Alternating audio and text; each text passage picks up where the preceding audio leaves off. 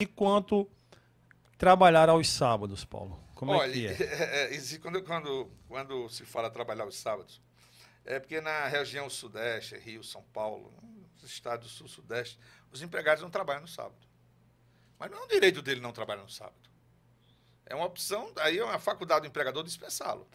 A jornada de trabalho é 44 horas semanais. Ele trabalha 8 horas por dia e 4 no sábado. Ou se trabalhar 8 horas no sábado, ele vai receber hora extra.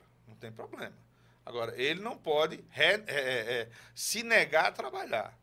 Agora, também, caso o empregador faça um acordo com ele, ele aumenta a jornada durante a, entre segunda e sexta-feira, coloca uma, no, uma, jornada de nove horas de segunda a quinta, oito horas na sexta, que dá as 44 horas semanais. Lembrando que não pode ultrapassar 10 horas, né? A 10 horas, são oito horas diárias, com duas horas, no máximo, duas horas extras. Agora, ele não pode se negar a trabalhar aos sábados. Isso ele não pode. Isso é, um, isso é uma obrigação dele. Perfeito. Entendeu? Não precisa nem estar previsto na, na, na em nenhum termo de compromisso ou um acordo entre as partes. É a jornada de trabalho, entendeu?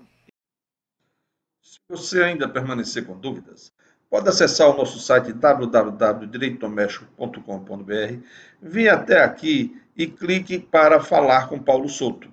Clicando, vai abrir o WhatsApp. Abriu, você manda sua mensagem e Paulo Souto prontamente lhe atenderá.